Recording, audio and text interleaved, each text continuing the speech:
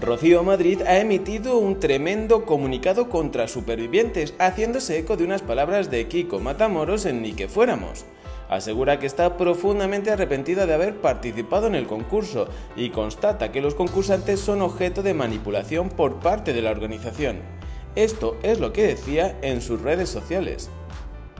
Ojalá estas palabras no existiesen, ojalá mi experiencia allí hubiese sido otra, ojalá no hubiera necesidad de crear un término para ponerle nombre a algo tan horrible. Pero insisto, las palabras son creadas para usarlas cuando son necesarias para denunciar una situación. Soy muy consciente de lo que significa la palabra bullying Quizá hubiese sido más adecuado decir moving, pero vamos, lo mismo es a nivel de significado. Lo que me hace mucha gracia es que confiese una de las que se presentaron a hundirme.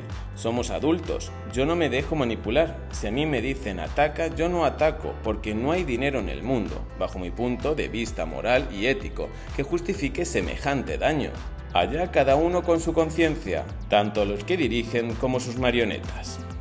Con ello, la andaluza se refiere a la revelación que hizo Matamoros este viernes en Canal Quickie, donde aseguró que Lorena Morlote le había trasladado que habían sido manipulados en supervivientes y que el director del programa en Honduras se presentó un día en Playa Limbo ante ella, Kiko Jiménez y Laura Matamoros para que dieran caña a Rocío Madrid, supuestamente.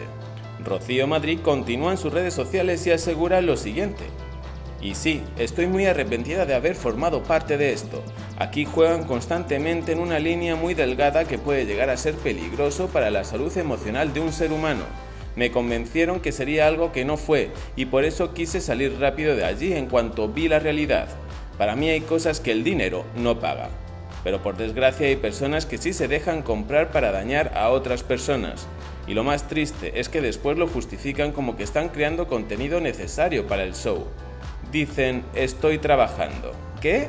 Uf, vomito.